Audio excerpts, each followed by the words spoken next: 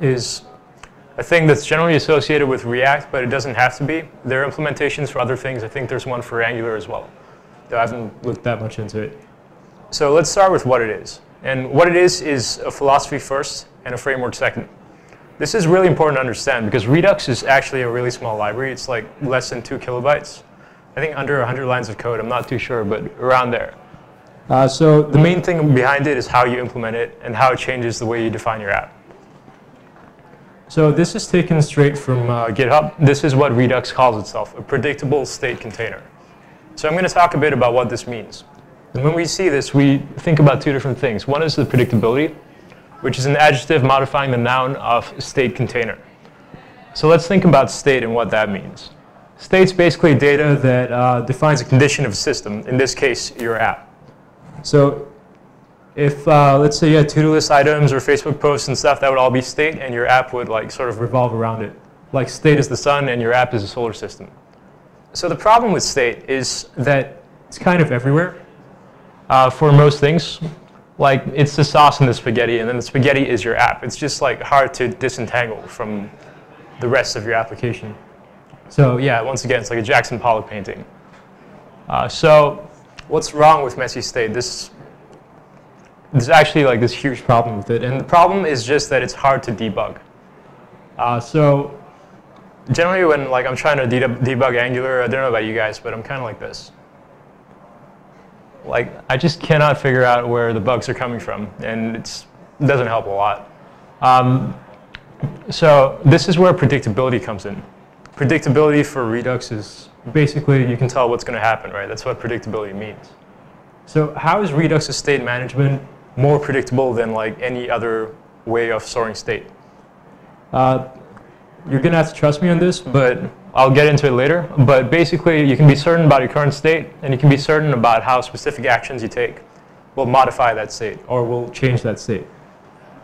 So it achieves this through two principles. One is the principle of abstraction, and the other one is the principle of immutability. So in terms of abstraction, we've got two things going here. One is uh, the state container itself. There's only like one place where your state resides. It's a singular state container. There's only one state container.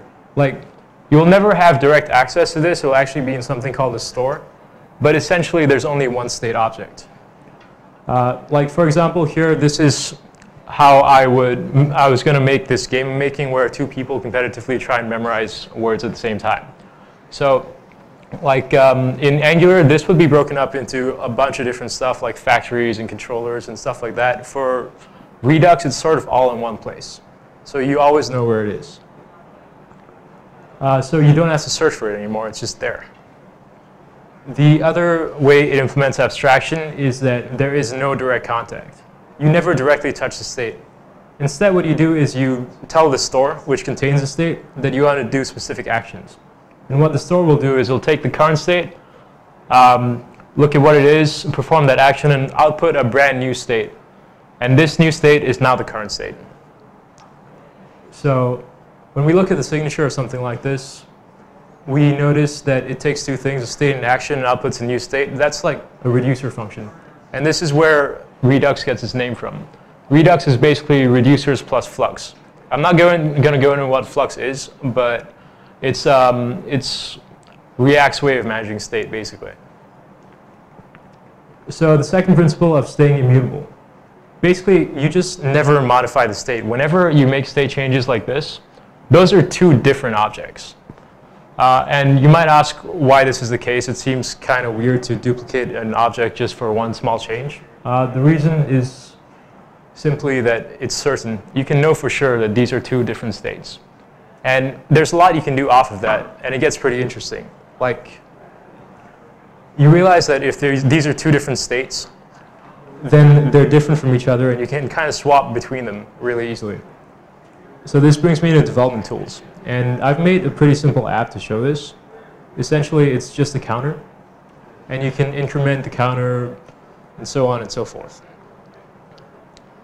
So, like, as I increment the counter, the state let me just make that bigger. The state changes. And to add complexity to this app, I've also included authentication, and I've made a, a special condition. in which if the user is logged in and the value shown on the counter is 10, then the value changes to woohoo instead of like 10. So I can test that right now. Value is 10, I'm logging in. I've logged, still logging in. So off.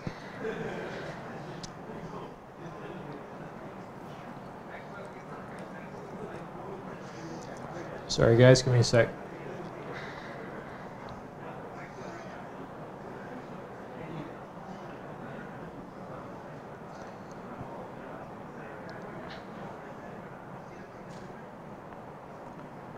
Hmm. This is odd. It was working. Okay, there we go. So log in. Yep. So essentially, this is it, right? This is Woohoo. Let's, let's just imagine that we started off at this state. So in this case, like the user is logged in and the value is 10. But if I wanted to check whether the user was logged in and the value is 9 and see whether or not the value would be 9 or Woohoo, let's say I'm not sure it's working right. So normally what you'd have to do is you'd have to like restart your whole app. And then you'd have to go to 9 and then you'd have to press login. But what Redux does is it allows you to, serial, uh, to sort of like see your state like this. These are increments, increments, increments. And if I just like cancel out that login, I'm no longer logged in. And then if I just cancel out one of the increment actions, it goes down. Uh, so yeah, the thing we're testing right now is whether or not you can be logged in and it still shows 9. There we go. I'm logged in and it still shows 9.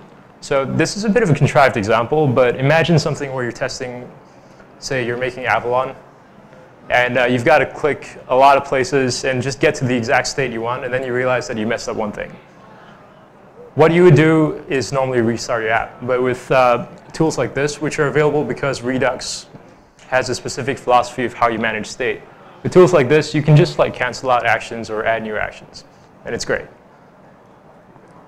So yeah, let's uh, just play a quick game of does it mutate.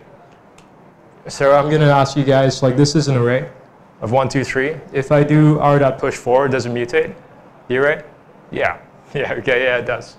So don't do that for if you're managing state. Um, there's actually a great library you can use called Immutable that helps you deal with things in this particular way where like it wraps arrays and objects and stuff like that in other objects that when you call methods on them, they don't mutate, but they just like return new objects. I'm not going to go into that so much, but yeah. If you don't want to use it, you can do stuff like this, where you can use ES6 spread operators to return new arrays, or array.concat returns new arrays. The idea is just don't modify the objects. So yeah, I'm just going to end off with this, and this is like how state changes in Redux. The idea is the data changes. You then call an action based on that, and you tell the store to perform an action. And then the store calls a reducer on the old state and the action, and then it gets like a new state from that. And then it swaps out the reference for the current state to be like the new state. And then that's how it knows.